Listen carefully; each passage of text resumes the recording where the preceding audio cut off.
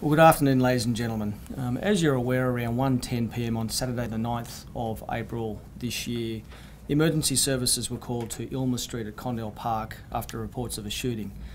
Two males uh, alleged to have been injured during the incident were presented at hospital uh, prior to the arrival of emergency services and one of those men, aged 32, later died at hospital. Two 22-year-old men were later charged with concealed serious offence. Strikeforce Admiralty, under the leadership of the Homicide Squad, was established to investigate the circumstances surrounding that incident.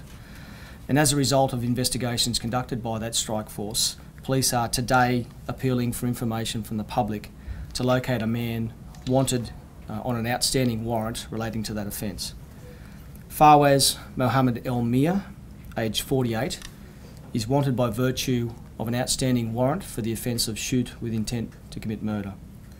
Detectives have conducted extensive inquiries over the last few weeks to try and locate Mr Elmir, but he hasn't been able to be found.